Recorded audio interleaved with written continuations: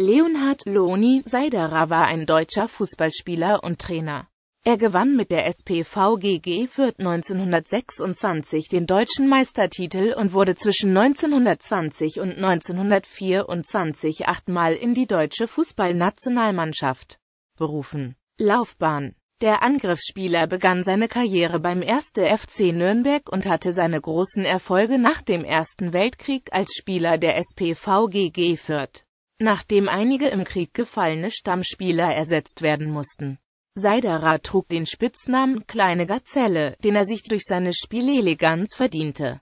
Zudem galt er als torgefährlich.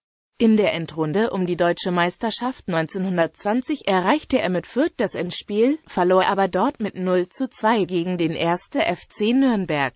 Sechs Jahre später im Endspiel 1926 konnte Hertha BSC in Frankfurt mit 4 zu 1 geschlagen werden.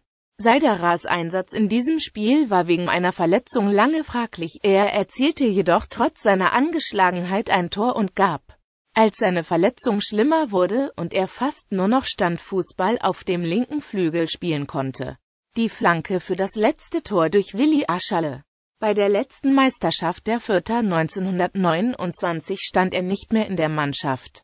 1920 wurde er erstmals in die Nationalmannschaft berufen, 1924 bestritt er das letzte seiner acht Länderspiele, in denen er vier Tore schoss und 1922 für einen verletzten Torwart einsprang.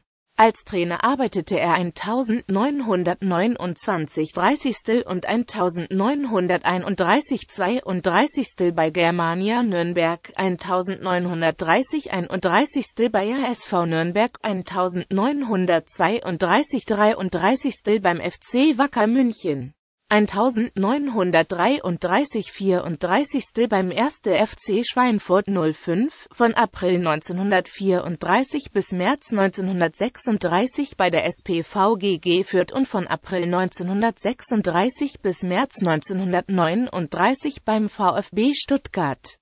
Mitte der 30er Jahre erkrankte er an Tuberkulose, von der er sich nie erholte und 1940 verstarb